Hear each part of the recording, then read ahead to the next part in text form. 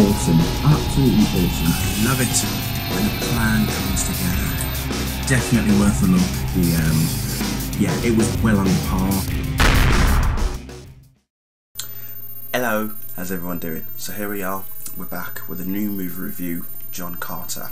Okay, Disney's John Carter, by the way, based on the premise of the story known as John Carter of Mars or Princess of Mars, however you want to put it. Now, the character itself, John Carter, is over hundred years old, as in the creation of the car of the character, um, done by a guy called Edgar Rice Burroughs, and it's the movie is directed by Andrew Stanton. Also stars Taylor Kitsch, Lynn Collins, Samantha Morton, and Willem Dafoe, and among a few other um, big name casts. Now, um, let's see, what do we have here now? The um, the movie itself. You see, this is what's interesting is that Andrew Stanton is the guy that directed WALL-E, Finding Nemo, and co-directed A Bug's Life as well. So this guy is big in Disney. Okay, um, he's directed this movie, which Disney have been trying to take off for a long time. It's a, it's a and it is a massive project. And when you see the film, um, it's a big big project. 250 million dollars it cost as well. So whoa, a lot was riding on this. Um, but the story itself is based on a guy called John Carter, who's transported from 19th century America to what we know as Mars but as the inhabitants of said planet know as Barsoom, and they call Earth Jasoom as well. Um, he, as I say, he, transported to Mars, uh, where he finds that A, he's able to defy their gravity, and B, his strength has also increased as well. Now, the first thing I thought of when I, you know, sort of heard of that sort of premise was Superman. Um, because we know that Superman is from Krypton. Under a red sun, he's just a normal Kryptonian, but under a yellow sun, he's got superpowers. Um, and it kind of makes me wonder if John Carter and Edgar Rice Burroughs' creation of this character and the you know the the story that he created around John Carter and you know the planets and the the characters and everyone based with, to do with John Carter is the reason we have the likes of Star Star Wars and Superman and even Avatar. Um,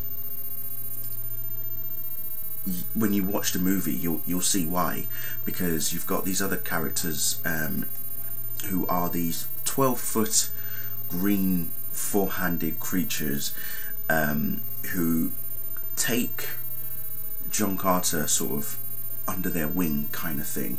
But they actually treat him as well they obviously treat him as an outsider but they treat him as as a baby as such um, but quite aggressively. And he still has no idea how he get he got to Mars um, he still thinks he's on Earth for, for, for quite a bit till he meets this gorgeous, beautiful princess by the name of Dejah Thoris, who's played by Lynn Collins.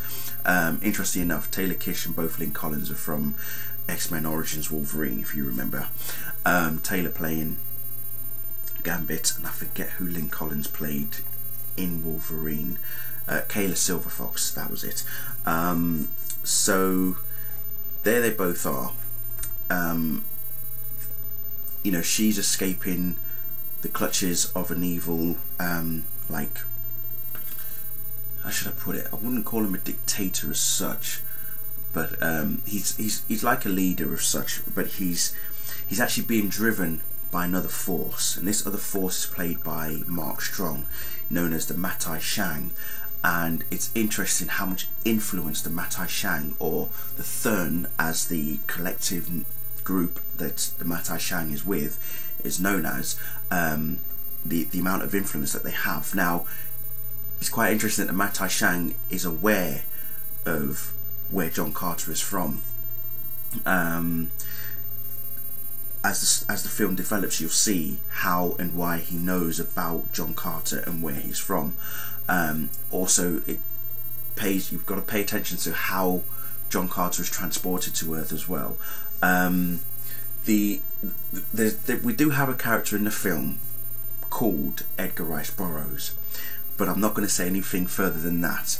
It's just very interesting how the writer of John Carter is Edgar Rice Burroughs, and then you've got a character by the same name in the movie. But again, not going to go into further into it without giving too much away. Um, so as I say, um, John Carter is he the, the the character is seen as someone who is even though he's um, how should I put it it's difficult to actually really describe the character but um, he's from Virginia. He's um, he's been in the cavalry so he was part of the the, the, the American like cavalry. Um, he's he was married he's got a daughter as well. Um, but it's what is just so interesting about him is that despite the fact that he has lost so much, he is still able to find the courage to protect other people. Um, he doesn't like to protect other people, doesn't want to fight other people's wars for them. But if he sees someone injured, he will, you know, come to their aid as such. Um, what is interesting is that he, he he he amasses a wealth because he's got a cave of gold, and it's that cave again.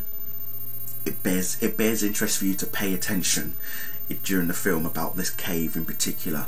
Um, as I say, if you've read the books, if you know of the character um, John Carter, you'll know exactly what I'm referring to. You'll know what I'm talking about.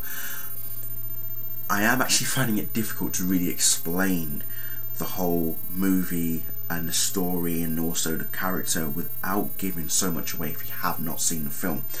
I've never read any of the books. This is the first time I even heard of the character John Carter.